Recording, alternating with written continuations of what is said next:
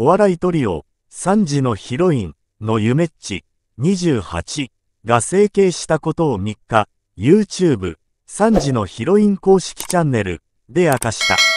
写真、大変身、メイクのビフォーアフターを披露したゆめっち昨年5月、体調不良のため一定期間の休養を発表し、今年6月に自身の X、旧 Twitter で活動再開を報告したゆめっち。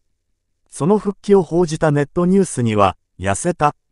垢抜けた、綺麗になった、というコメントが寄せられていた。このコメントに対して、ゆめっちは、実は、整形しました、とカミングアウト。休養期間の間に、本当に痩せた、としたものの、それ以前に大幅な顔のアップデートをしました、とした。整形場所については、鼻、と、フェイスライン。鼻については、ちょっと高くした、とし、フェイスラインについては、死亡吸引と糸リフト、と明かした。これに、奏が、1年以上ダウンタイムだったってこと。と確認すると、そういうわけじゃない。整形で休んだんだ、って思われるのは、ちょっと行くて、と否定。